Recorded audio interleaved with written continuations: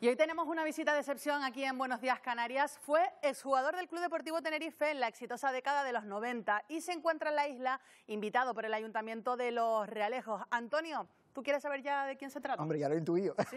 Pues me voy a saludarlo para también que lo sepan nuestros espectadores. Oscar Alberto de Erticia, ¿qué tal? Muy buenos días. Buenos días. Un placer tenerte aquí en nuestra isla, en Canarias, que hacía mucho tiempo además que no visitaba. Sí, la verdad que sí. Feliz, contento de estar nuevamente en mi segunda casa y de poder compartir y ser padrino de un evento de fútbol de niños. La verdad, con grandes equipos como el Real Madrid, el Barcelona, el Sevilla eh, el Villarreal, el Valencia eh, y más los, los, chicos de los equipos de acá de la isla y de, de, afuera.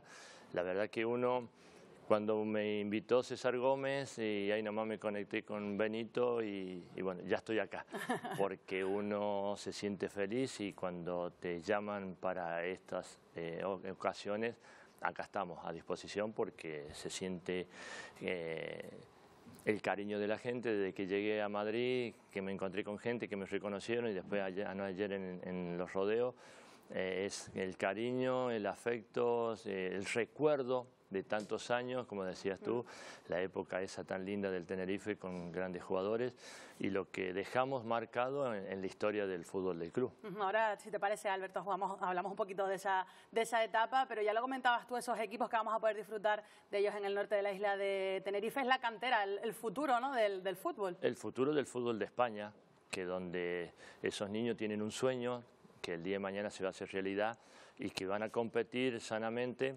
eh, porque todavía son niños y que tienen que seguir creciendo a nivel futbolístico y a medida que sus entrenadores los vayan guiando para que sean grandes profesionales y grandes personas, eso va de la mano y la pelota, que es una transmisora de, de valores, lo van a ir incorporando. Y que este torneo que es el séptimo, que seguro que va a tener por muchos años más, eh, acompañándolos y recibiendo a distintos equipos, sea el Barcelona, sea el Madrid y sean otros equipos de primera división o de equipos de, que están en la liga, eh, van a ser recibidos durante muchos años y que estos niños el día de mañana se van a poder cruzar o se van a encontrar en un equipo el día de mañana.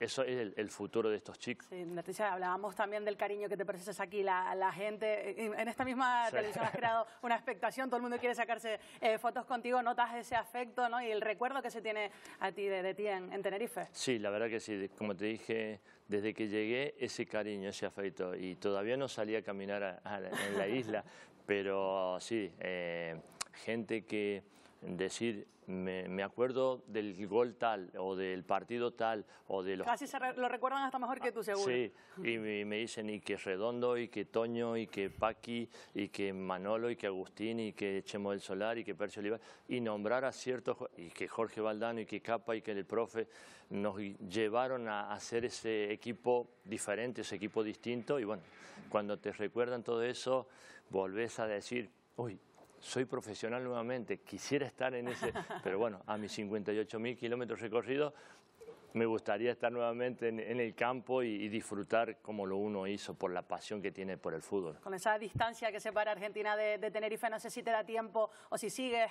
la evolución del equipo actual del conjunto blanqueazul. Sí, ahora con la tecnología tengo un programa, eh, la liga, y ahí donde veo todos los equipos, de donde están ciertos jugadores, porque también estoy eh, como ti en un programa de televisión en, Córdoba y que tengo que hablar de los equipos de, Córdoba, de Taller, Instituto Belgrano y los que están en segunda división.